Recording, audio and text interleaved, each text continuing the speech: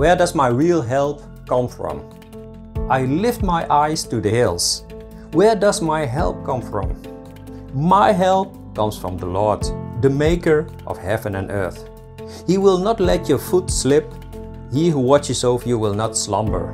Indeed, he who watches over Israel will neither slumber nor sleep.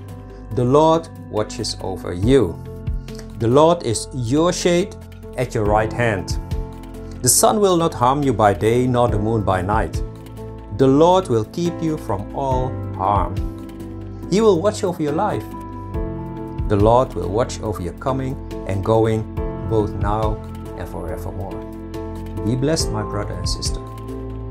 Lord God, fill me with you, for you are Emmanuel. Fill my life, saturate me with your presence.